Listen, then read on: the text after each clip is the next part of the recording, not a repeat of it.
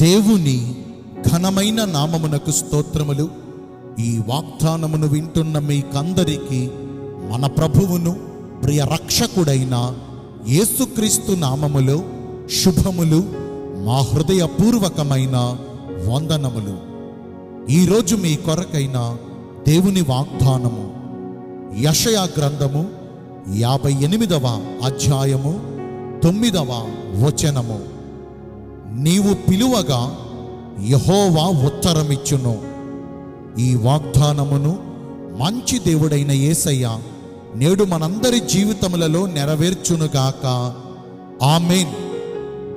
ఇస్రాయేలు యొక్క పరిశుద్ధ దేవుడును మనకు కాపరియు మనందరికీ ఉపకారి అయి ఉన్న మన యేసుక్రీస్తు ప్రభువు మనము కష్టకాలములో ఉండి శ్రమకు తాళలేక ఆయన సహాయము కొరకు మొర్ర పెట్టగా ఆయన మన మొర్ర ఆలకించి మనలను కరుణించి మన ఎడల తన ఉన్నతమైన కృపను చూపి ఆకాశము నుండి ఆజ్ఞ ఇచ్చి మనమున్న దీనదశలో నుండి మనలను విమోచించి మనము పడిన నాశనకరమైన గుంటలో నుండి జిగటగలిగిన దొంగ ఊబిలో నుండి కష్టకాలములో నుండి ఆయన మనలను పైకి లేవనెత్తి మన పరిస్థితులన్నిటినీ బాగు చేసి మన జీవితమును స్థిరపరిచి సంతోష సమాధానములను ఆయన మనకు దయచేస్తారు.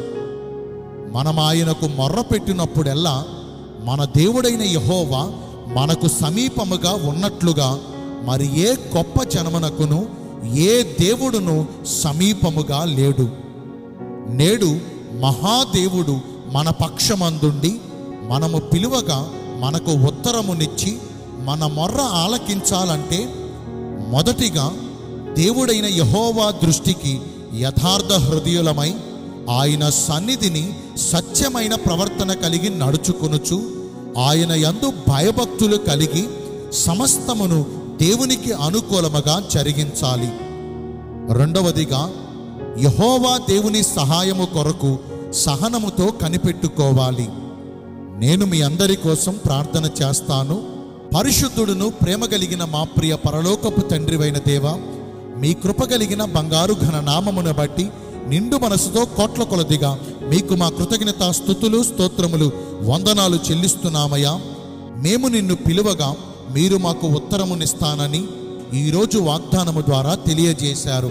వాక్యానుసారముగా నడుచుకుని ఈ వాగ్దాన ఫలములను పొందుకునే కృపను నేడు మాకందరికీ దయచేయండి. ఈరోజు ఎందరైతే పుట్టిన రోజులను వివాహ దినములను ఇతరమైన శుభకార్యములను జరిగించుకుంటున్నారో. వారందరికీ మెండైన దీవెనలు కుమ్మరించమని మీ రాకడ కొరకు మమ్మను సిద్ధపరచమని యేసుక్రీస్తు ప్రశస్త నామమున ప్రార్థించి వేడుకొనుచున్నాను. మా ప్రియ పరలోకపు తండ్రి. Amen. May God bless you all thank you